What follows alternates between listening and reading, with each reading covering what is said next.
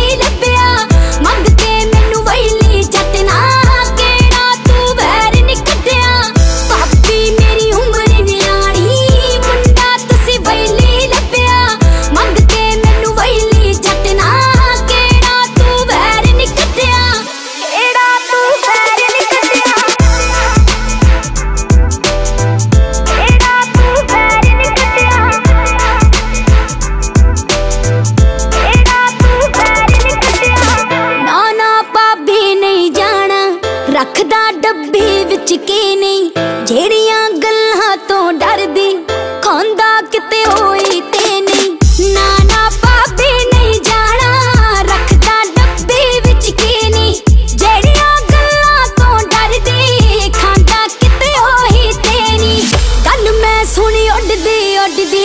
பந்த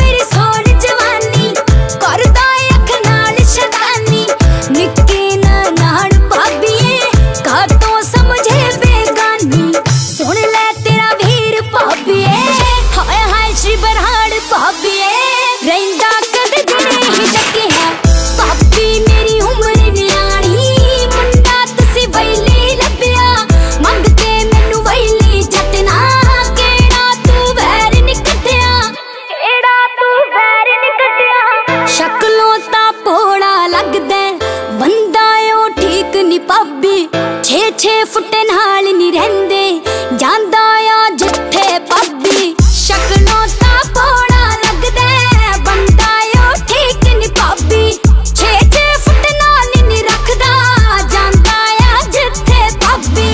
ਅੱਖੀਆਂ ਚੋਂ ਹੰਝੂ ਡਿੱਗਦੇ